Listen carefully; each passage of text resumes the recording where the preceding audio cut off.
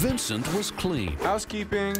Vincent was neat. It's my job. I'm just trying to do it to the very best of my ability. Tell me, Vincent, have you been a bad boy? No. Oh, God. But when it comes to love, Freebird! Freebird! I said play Freebird, you stupid. That is no way to talk to a lady. Oh, God, not again. Vincent always gets thrown away. I'm not sure your love strategy is a sound one here, my friend. Buck is the one squeezing her accordion. Like a warrior. I just need some kind of sign to let me know that I'm on the right track.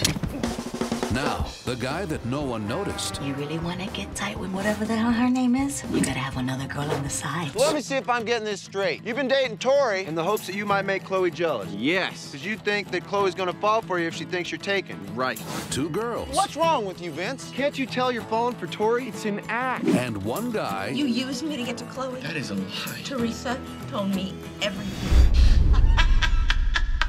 that made a mess out of love. I think it's good to have dreams. It's just sometimes they don't come true, and then it's time to find a new dream.